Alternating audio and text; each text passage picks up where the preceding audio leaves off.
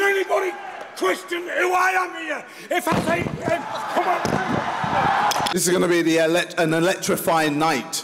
Ladies and gentlemen, October 14th is going to be crazy.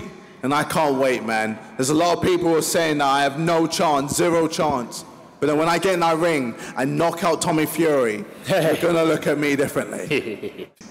Yeah, I mean, I said at the start I'd end it in 12 months. I fought Jake in February, and I'm fighting this man in October, and he will be done, and YouTube boxing will be done.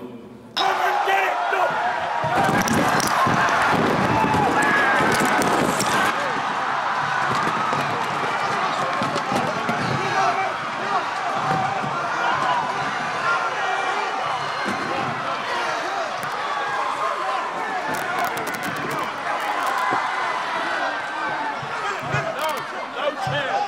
Listen.